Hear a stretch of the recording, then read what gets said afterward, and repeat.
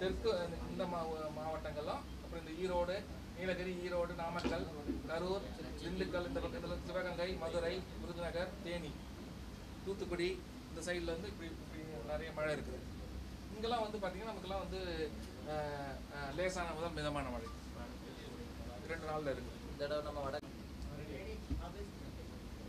தென்மேற்கு பருவமழை இந்திய பகுதிகளில் இருந்து படிப்படியாக விலக துவங்கிவிட்டது அடுத்த நாற்பத்தெட்டு மணி நேரத்தில் இது க முற்றிலுமாக விலகக்கூடும்.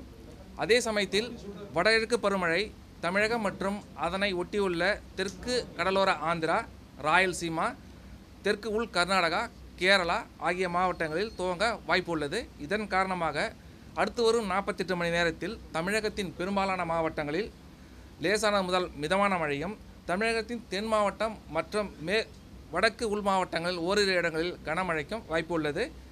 சென்னை மற்றும் சுற்றுப்புற பகுதிகளில் லேசான முதல் இடியுடன் இடியுடன் கூடிய லேசான முதல் மிதமான மழைக்கு வாய்ப்பு உள்ளது.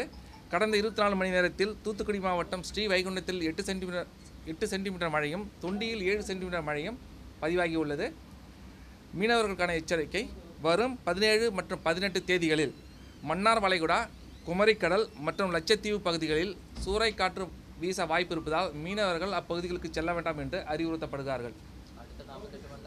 பதினெட்டாம் தேதி தொடங்கணும்னு போடலாம் சார்? வடக்கு பதினேழு. பதினேழு தொடங்கும். கன்ஃபார்மாக தொடங்கும். அதான் சார். கடலோர பகுதியில் லேசான முதல் மிதமான மழை. உள் அதாவது கொஞ்சம் உள் மாவட்டங்கள். எந்த பக்கத்துனா இந்த பக்கத்தில் இங்கே. உங்களுக்கு வந்து பார்த்தீங்கன்னா